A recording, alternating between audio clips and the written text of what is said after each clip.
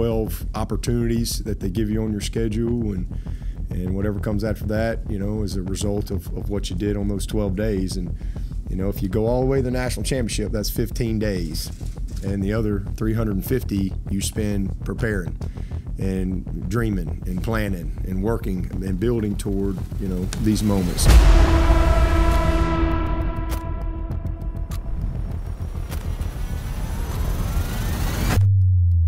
Let me ask you this.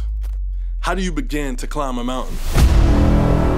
The first step is not the beginning. No, the beginning happens long before the mountain is even in sight.